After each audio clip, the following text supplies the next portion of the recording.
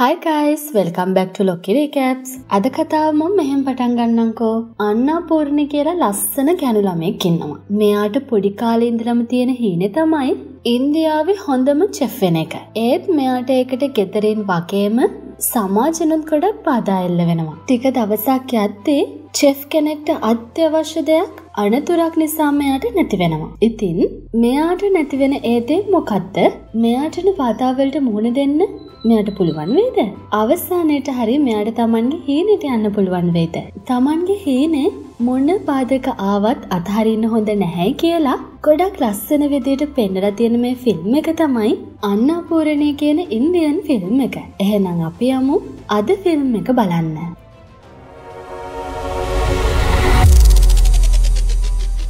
Film එක පටන් ගත්තෙම අපිට අන්නාපූර්ණය කියලා ගැනළමෙක් පෙන්නනවා. මෙයා පොඩි කාලේ ඉඳන්ම උයන වැඩවලට දක්ෂයි. කොච්චර දක්ෂද කිව්වොත් මෙයාට සුවඳින් ඒ කෑම ජාතිය මොකක්ද කියලා කියන්න පුළුවන්. මේ කෑම උයන දක්ෂතාවය නම් එයාට පරම්පරාවෙන් එන එකක්.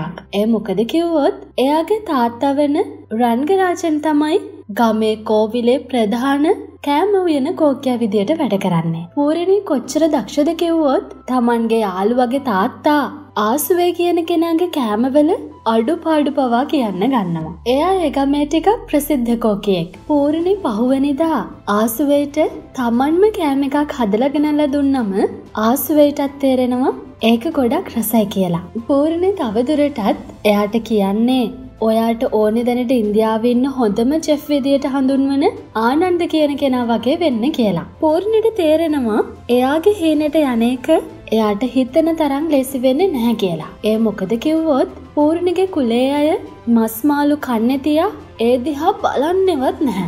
මේත් එක්කම අපිට අවුරුදු ගානකට පස්සේ ලොකු වෙලා ඉන්න පූර්ණිව පෙන්නනවා. මෙයාගේ පවුලේ අය මෙයාට මේ වෙලාවෙදිත් බැන බැන ඉන්නේ ඇයි කියලා බැලුවොත් එයා එයාගේ රස්සාවෙනුත් අස් වෙලා තමන්ගේ හීනට යන්න ඕන නිසා. ඒත් එයාගේ ගෙදර කට්ටිය නම් මේකට කැමති නැහැ. විශේෂයෙන් මෙයාගේ තාත්තා. එයාගේ තාත්තයාට බැන බැන කියන්නේ ඔයා උයන්න ගියොත් ඔයාට මස් මාළු පාවිච්චි කරන්නත් වෙනවා. ඒ නිසා මං ඔයාට ඔය වැඩේ කරන්න දෙන්නේ නැහැ කියලා. ඉතින් ඔයාලටත් තේරෙනවනේ තමන්ගේ හීනට යන්න උදව් නොකර ගෙදර අයම මෙහෙම කියද්දි පූර්ණිට මොනවා හිතෙනවද කියලා. ඒත් කතාවක් තියෙනවනේ හැම අඳුර වලාවකම රිදි රේඛාවක් තියෙනවා කියලා. අන්න ඒ රිදි රේඛාව තමයි පූර්ණිගේ හොඳම යාළුවා වෙන ෆර්හාන්. එයා නම් හැම තිස්සෙම වගේ පූර්ණිට එයාගේ හීනට යන්න සපෝට් කරන කෙනෙක්. ෆර්හාන්ගේ හිතේ පූර්ණි ගැන කැමැත්තක් තිබ්බත් එයා තාම ඒක එයාට කියලා නැහැ. ෆර්හාන් දැනුත් පූර්ණිව හම්බ වෙන්න ඇවිත් තියෙන්නේ එයාට කුකිස් කෝස් එකකට යන්න කතා කරන්න. පූර්ණි මේකට මුලින් අකමැති වුණත් පස්සේ ඒකට කැමති වෙනවා. පූර්ණි එයාගේ ගෙදර අයට බොරුවට කියන්නේ එයා යන්නේ ව්‍යාපාර ගැන තියෙන කෝස් එකක් කරන්න කියලා. පූර්ණි එහෙට ගියාම එතන දෙයාට ගොඩාක් හොඳ වගේම සපෝටව් යාලෝ ටිකකුත් හම්බ වෙනවා. පූර්ණිගේ තාත්තා වගේ මෙතන වැඩවලට අත්සන් කරන්න එයාගේ පොඩි කාලේ යාළුවගේ තාත්තා වෙන ආසුවේ. මොකද එයාත් දන්නවා පූර්ණි ගොඩක් දක්ෂ කෙනෙක් කියලා. ට්‍රේනින් එකේ එක දවසක පූර්ණයට චිකන් එකක් හරියට කපන්න කොහොමද කියලා උගන්වනවා. පූර්ණි කියන්නේ පොඩි කාලේ ඉඳන් මස් මාළු කාලා වගේම සුවඳවත් බලලා නැති කෙනෙක්නේ. ඒ නිසා පූර්ණිට එයාගේ අවස්ථාව ආවම එයා කලන්ත දානවා. මේ සිද්ධිය නිසා පූර්ණි ගොඩක් මානසිකව වැටෙනවා. සුපුරුදු පරිදි ආව දිරිගන්වන ෆර්හාන් කියන්නේ මගේ අම්මත් පොඩි කාලේ ඉඳන් වෙජිටේරියන් කෙනෙක්. ඒත් එයා තමයි දැන් රස්සටම චිකන් බිරියානි හදන්න කියලා. හේනයක් තියෙනවා නම් Tamanට අනිවාර්යෙන්ම දේවල් කැප කරන්න වෙනවනේ. ඉතින් පූර්ණිටත් තේරෙනවා Tamanගේ හේනට යන්න ඕන නම් මේ කැපකිරීම කරන්නම වෙනවා කියලා. පූර්ණි ඒ හින්දා පහුවෙනිදම චිකන් බිරියානි හදලා ඒක රස යාළුවන්ට බලන්න දුන්නත් ඒක ගොඩක් රස නැහැයි වගේ පේන්නේ. පූර්ණේතින් මේ වගේ දෙයක් හැදුව පළවෙනි සැරේනේ. ඒත් එයා එකෙන් වැටෙන්නේ නැතිව කරන්නේ ෆර්හාන්ගේ අම්මගේ බිරියානිගේ රස බලනවා. එයාටත් තේරෙනවා එක මාරම රසයි කියලා. මෙහෙම ටික දවසක් කිසි ප්‍රශ්නයක් නොවී ගත වෙනවා. ඒත් එක දවසක් පූර්ණිගේ තාත්තා පූර්ණිව හොයාගෙන එනවා. මේක දැක්ක පූර්ණි ඉක්මනින් එයාගේ චෙෆ් ඇඳුම මාරු කරලා සාමාන්‍ය ඇඳුමක් ඇඳ ගන්නවා. තාත්තා මෙහෙට ඇවිල්ලා තියන්නේ පූර්ණියට ගෙදර අතුරු දීලා යන්න. ඒක දීලා තාත්තා පිටත් වෙනවා. පූර්ණි ආයේ Tamanගේ ඇඳුම ඇඳගෙන ගිහින් එතන හදලා තිබ්බ චිකන් කෑල්ලක් කාලා try කරනවා. ඒත් පූර්ණිගේ අවාසනාවට ආයෙමත් පූර්ණිව හම්බ වෙන්න ආපු තාත්තා මේක දකිනවා. මේ සිද්ධිය දැන් ගම පුරාම පැතිරිලා ගිහින් ඉවරයි. මේකෙන් ලොකුම ප්‍රශ්න එන්නේ පූර්ණිගේ තාත්තට. එයාව කෝවිලේ උයන තනතුරෙන් අස් කරලා දානවා. පූර්ණිගම වැඩේ නිසා. පූර්ණි ගෙදර ඉද්දයා තාත්තගෙන් සමාවිල්ලනවා. ඒත් ගෙදර කට්ටිය ගොඩක් තරහින් ඉන්නේ. ඒ නිසා එයාලා පූර්ණිව කසාද බඳලා දෙන්න හදනවා. පූර්ණිත් මේ තමයි Taman ගිහිනේ අවසානය කියලා හිතලා මේ දෙයට මුකුත් කියන්නේ නැහැ. ඒත් පූර්ණි ගිහිනේ ෆර්හාන් අත්තරින්න දෙයිද? කසාද දවසේ පූර්ණිව හොයාගෙන ආපු ෆර්හාන් එයාට කියන්නේ පූර්ණිට තමන්ගේ හීන හැබෑ කරගන්න චෙන්නයි යන්න එන්න කියලා. ඒත් මේකට පූර්ණි මුලින් අකමැති වෙන්නේ තාත්තව තවත් අපහසුතාවයට පත් කරන්න ඕන නැති හින්දා. මේත් එක්කම මෙතනට පූර්ණිගේ ආච්චි අම්මා එනවා. එයා ඇවිත් මෙයාලව ගෙදර කට්ටියට අහු කරලා දෙයි කියලා හිතුවත් එයා එහෙම කරන්නේ නැහැ. එයා මෙතනට ඇවිත් පූර්ණිට කියන්නේ ඔය අනිවාර්යෙන්ම ෆර්හන් එක චෙන්නයි යන්න ඕනි කියලා. පූර්ණි ඒකට අකමැති වෙන්නේ මිනිස්සු එයා ගැන වැරදියට කතා කරයි කියලා හිතලා. ඒත් ආච්චියාට කියන්නේ ඔයා ගිහින් අනිවාර්යෙන් ලොකු වගේම ප්‍රසිද්ධ ෂෙෆ් කෙනෙක් වෙන්න. එතකොට මේ බණිනායත්තුවට හොඳ කියයි කියලා. පූර්ණි ආච්චිව බදාගෙන ෆර්හන් එක්ක පිටත් වෙලා යනවා. ආච්චියත් එක්කම මුකුත් නොදන්නවා වගේ ඇවිත් කියන්නේ පූර්ණි කාමරේ නැහැ කියලා. මේත් එක්කම වගේ තාත්තට පූර්ණිගෙන් වොයිස් මේල් එකක් එනවා. ඒකේ පූර්ණි තාත්තගෙන් සමාවිල්ලලා කියලා තියන්නේ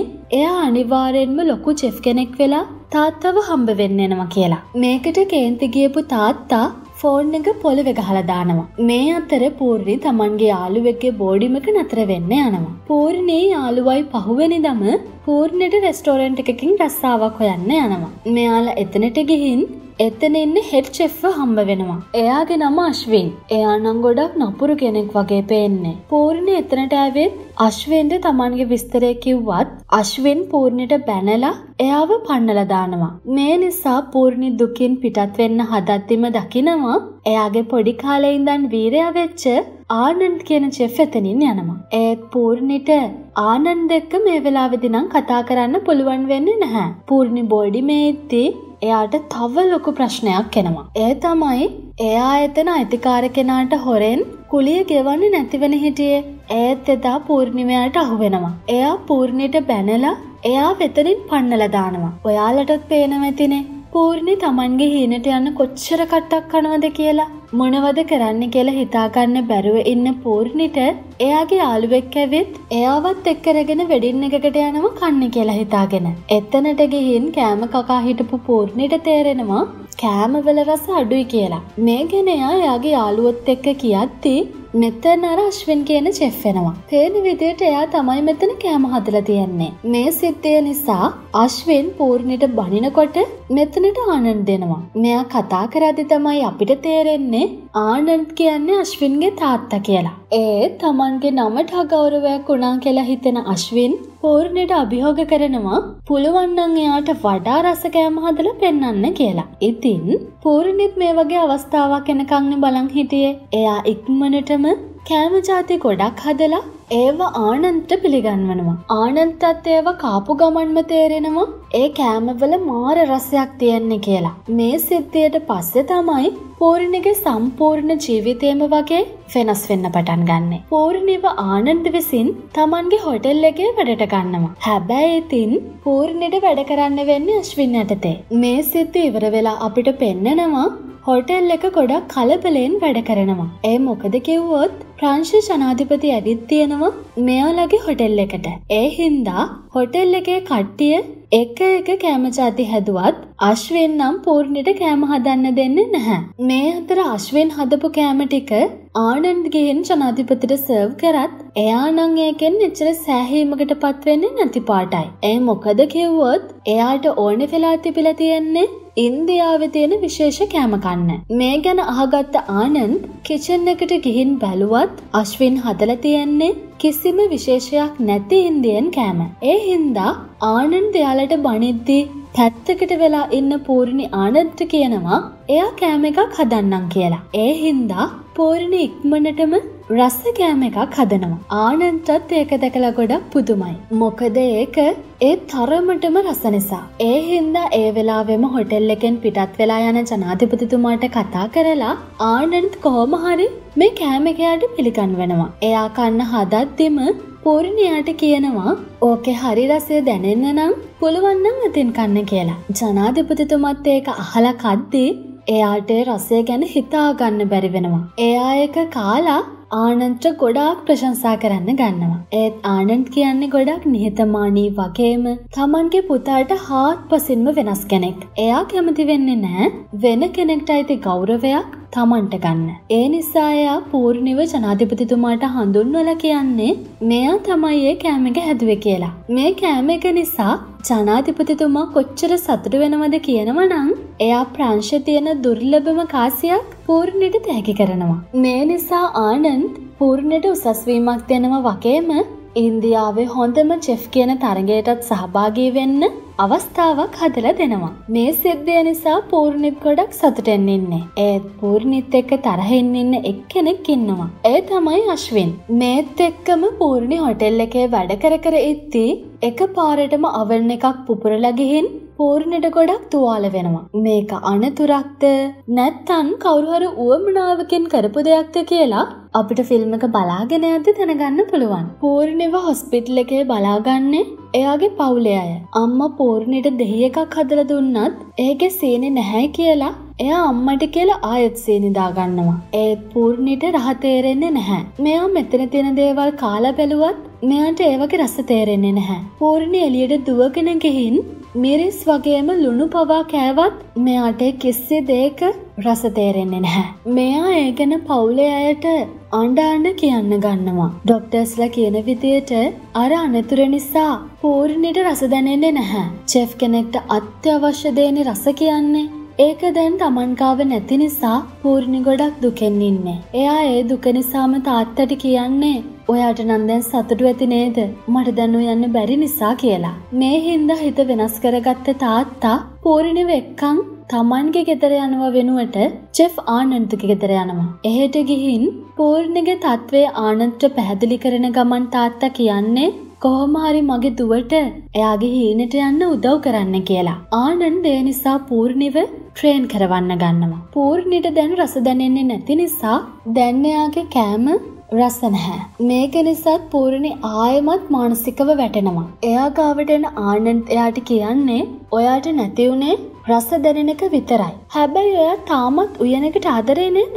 එයා තවදුරටත් කියන්නේ ඒ රසය තියෙන්නේ ආදරේ කියලා. මේකෙන් හිත ශක්තිමත් කරගත්ත පූර්ණි තමන් ගැන විශ්වාසයෙන් ආයමත්තු යන්න පටන් ගන්නවා. මේ නිසා එයාගේ කෑම වෙනත විදියටම රසට හැදෙනවා. මේ අතර අපිට ආනන්ත්වයි අශ්වින්වයි පෙන්නනවා. ආනන්ත් මේ වෙදි දැනගෙන අශ්වින් තමයි අවන්න එක පුපුරවලා තියෙන්නේ කියලා. මේ නිසා ආනන්ත් තමන්ගේ පුතා වුණත් අශ්වින්ව හොටෙල් එකෙන් නස් කරනවා. ඒත් හොටෙල් බෝඩ් එකෙන් ආනන්ට ලොකු ප්‍රශ්නයක් එනවා. ඒ තමයි පූර්ණයට දැන් රස දැනෙන්නේ නැති නිසා එයාලා පූර්ණිව අස්කරලා වගේම අශ්වින්ව ආයෙත් වැඩට අරන්. මොන දේ වුණත් ආනන්ත් කියන්නේ අසාධාරණය පැත්තින්න කැමති නැති කෙනෙක්. ඒ නිසා එයා තමන්ගේ තනතුරෙන් ඉල්ලා අස් වෙනවා. මේ හින්දා අනිත් හොටෙල් වෙලාය ආනන්ද්ව තමන්ගේ හොටෙල් එකට ගන්න පොරකන්න පටන් ගන්නවා. පූර්ණි ආනන්ද් තමන් වෙනුවෙන් රස්සාවෙනුත් අයින් වෙලා කියලා දැනගෙන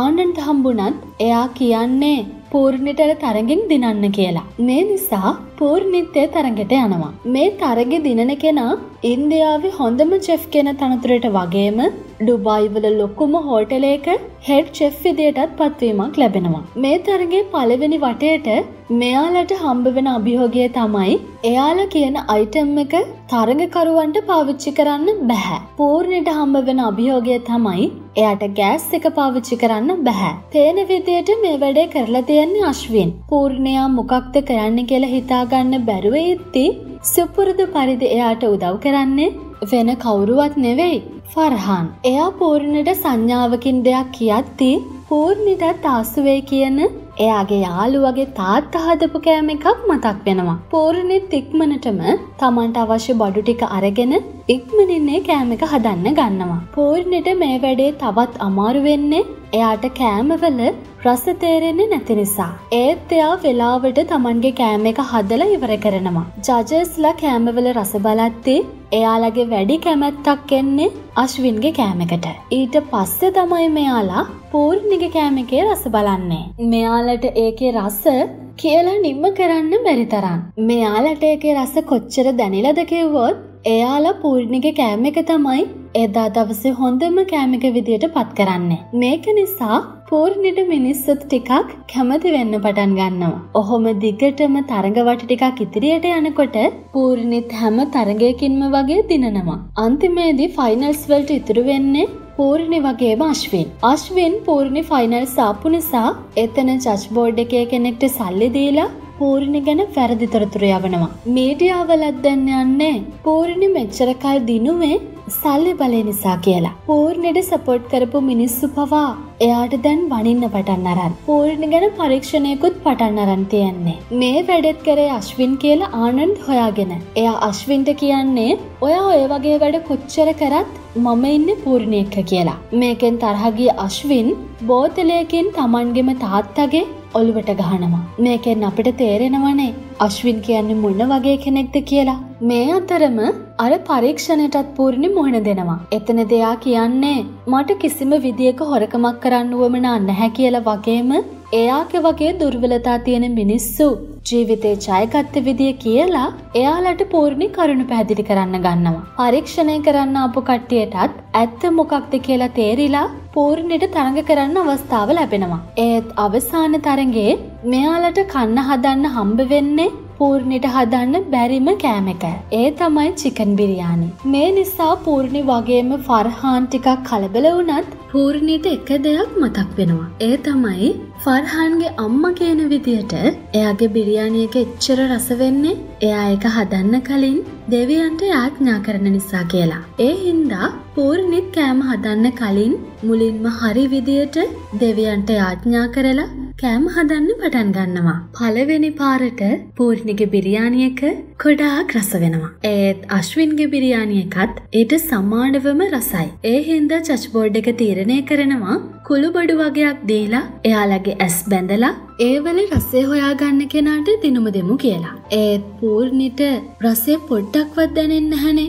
ඒක ගැන ෆර්හාන් චච්බෝඩ් එකට කිව්වත් ඒක තමයි තරගේ නීතිය. පූර්ණිට රස බලන්න බැරි වුණත් එයාට ඒවල සුවඳ බලන්න වගේම අල්ලල බලන්න පුළුවන්නේ. මේ නිසා අශ්වෙන් වගේම පූර්ණි කුළුබඩු ජාති හතරක් හරියටම අඳුරගන්නවා. ඒත් පස්වෙනි කුළුබඩුව අශ්වෙන්ට අඳුරගන්න බැරි වෙනවා. ඒත් පූර්ණිත් ගොඩාක් අමාරුවෙන් ඒ කුළුබඩුව මොකක්ද කියලා හොයාගන්නවා. මේ නිසා එයා මේ තරගෙන් දිනලා ඉන්දියාවේ හොඳම චෙෆ් කියන තනතුර ලබනවා. පූර්ණිටයාගේ පවුලයාගේ වගේම යාළුවන්ගෙත් සතුට එයාලගේ මුන්වලින් පේනවා. පූර්ණිට සම්මානය දෙන වෙලාවේ පූර්ණයාගේ තාත්තට කතා කරලා එයාට සම්මානය ගන්න කියනවා. තාත්තගේ මූුණෙත් තිප්පේ තමන්ගේ තුව ගැන ලොකු ආඩම්බරයක් වගේම එයාට හීනට යන්න බාධා කරපු එක ගැන ලැජ්ජාවක්. තාත්තා ඒකම පූර්ණි උයන්න පාවිච්චි කරපු හැන්ද එයාටම දෙනවා. මේ නිසා සතුටට